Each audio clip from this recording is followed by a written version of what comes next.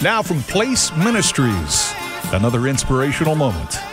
Welcome back to your place.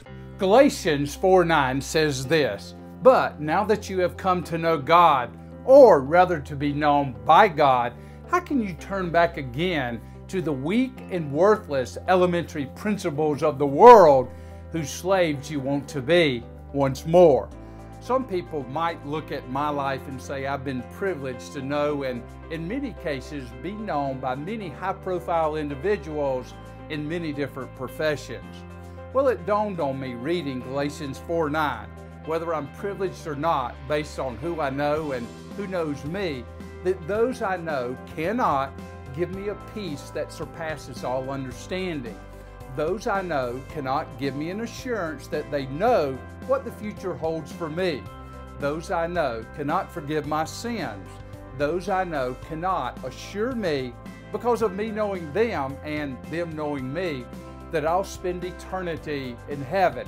But there is one who knows me, and I know him that can give peace, does know my future, has forgiven my sins, and assured me that I'll go to heaven because I know him personally and he knows me personally. And his name is God. God the Father, God the Son, Jesus Christ, and God the Holy Spirit. In living out your place in life and ministry, consider yourself privileged if you know God and He knows you personally. And if you don't know God personally, today would be a great day for you to come to know Him personally. And yes, I would consider it a privilege to help introduce you to Him personally if you don't know Him.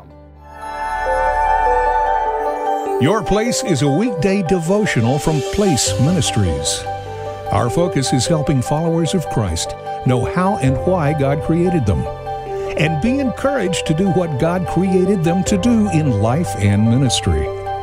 For a list of free resources, go to placeministries.org and join us every weekday right here at your place.